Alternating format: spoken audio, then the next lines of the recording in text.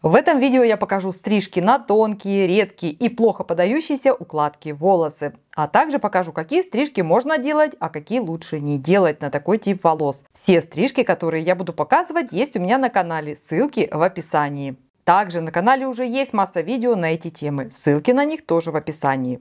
Hi everyone, с вами Ева Лорман, я автор и ведущая этого канала, который посвящен красоте. Итак, let's go, друзья!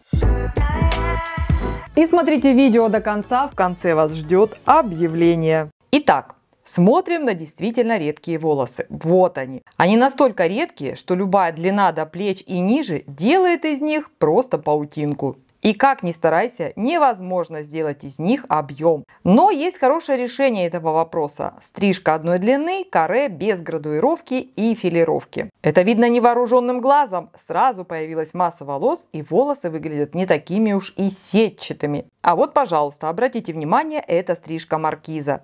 Ее тоже нет смысла делать, потому что мы никогда не поднимем ее до нужного объема. Только вот такие стрижки в стиле пикси шорт можно делать на такие редкие и тонкие волосы. Пикси может быть очень разным. И таким с немного удлиненной челкой. Но если в теменной зоне не хватает волос, а такое часто бывает, то такая стрижка нежелательна. Лучше делать короче в этом месте, и мы получим сразу и стиль, и количество волос замаскируем. А еще лучше будет покрасить волосы в более светлый цвет, чтобы убрать контраст цветом кожи. А вот андеркат. Для экстрима, конечно, и если вы можете это пережить, тогда да. И укороченный андеркат. Это, кстати говоря, мужская стрижка-канатка. Она тоже есть на канале. В англоязычном пространстве это все называется одним словом андеркат. Как они вообще в этом разбираются? Потому что андеркат это не сведенные зоны, а канатка сведенные зоны. И если все-таки волос в теменной зоне немного и кожа просвечивается,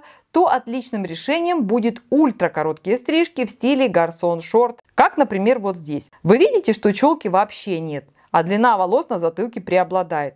Это как раз хорошее решение для тех, у кого вот такое распределение волос. Как улучшить рост волос, бороться с выпадением. Есть тоже видео на канале. И судя по комментариям, у людей все получается. Главное делать. Кстати, гарсон можно интерпретировать по-разному. Делать удлинение на затылке, делать удлинение на челке или равномерную стрижку по сфере. В зависимости, опять же, от распределения волос. Это, конечно, может показаться сложновато. Я приняла решение создать курс по стрижкам. Многие об этом просят на протяжении всего существования канала, хотя я и пыталась бесплатно выдавать максимально тут, но тоже понимаю, что курсом со структурированными уроками было бы правильнее воспользоваться. В общем, подготовка курса подходит к завершению. Как полностью закончу, дам знать на канале и во всех соцсетях. И еще по вашим просьбам, кстати говоря, тоже, я начала писать книгу по стрижкам. Как только закончу ее, она также будет анонсирована на канале и во всех соцсетях. Идем дальше.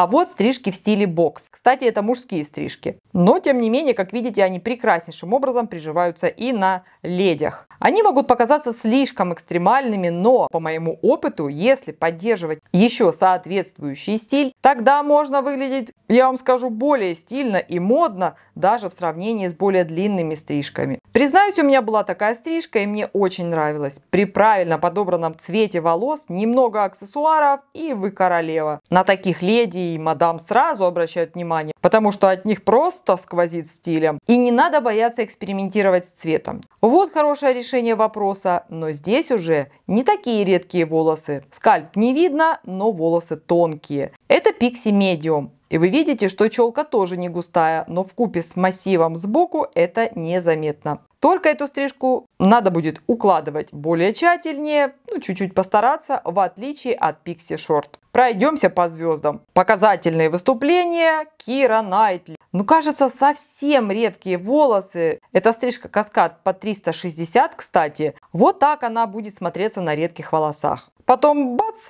каре и волос прилетело. Как же это произошло? Это, друзья, всего лишь правильная стрижка и все. Лайтбоб, кстати. И если у вас редкие волосы или вам это кажется, то подумайте об этом. Возможно, это всего лишь стрижка дает такой эффект. Усиливает действие редкости волос. Ну и пикси шорт, да. Стильно, модно, молодежно. Но все-таки вот с каре, мне кажется, ей лучше. Тут еще играет большую роль форма лица. Именно стрижка каре сделала из ее формы лица овальную, поэтому она кажется более гармоничной. Вот такие стрижки не рекомендуется делать на тонкие редкие волосы. Это все каскады, градуировка. Вот вообще нет от слова совсем. Такие стрижки подойдут только для густых волос, пористых волос, которые хорошо держат укладку, потому что каскады это уменьшение массива волос. Про вот такие стрижки, каре, медиум с градуировкой я вообще молчу.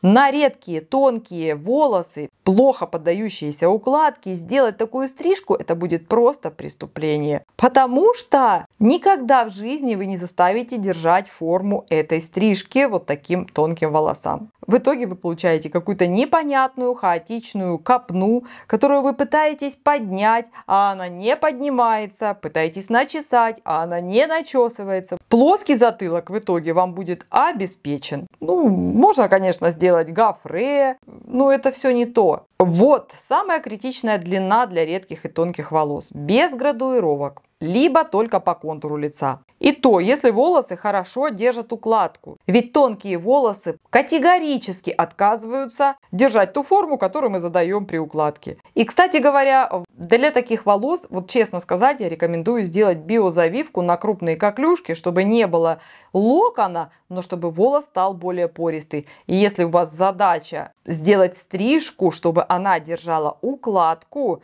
не просто длинные волосы, а именно стрижку с укладкой, тогда есть абсолютно точно смысл сделать биозавивку. Биозавивка сделает ваши волосы немного жестче и послушнее. А вот еще обратите внимание, Дженнифер Энистон, шатенка и блондинка. С блондом волос кажется больше, и это немаловажно. Точно так же блонд имеет примерно такое же воздействие на волосы, как и биозавивка. После блонда волосы становятся более пористыми и послушными, они гораздо легче укладываются, принимают ту форму, которая вам нужна. И, естественно, мы видим, что визуально даже кажется волос больше, чем на первом фото. Поэтому пользуйтесь этими фишками, и тогда даже тонкие редкие волосы, благодаря правильному подбору стрижки и цвету волос, будут выглядеть не такими уж скучными.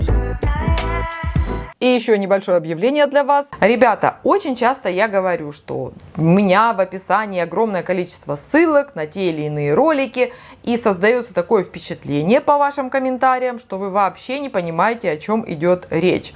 Объясняю и показываю. Смотрите, когда вы видите видео, а под низом, под видео есть какие-то там надписи, название самого видео и вот это заветное слово «еще».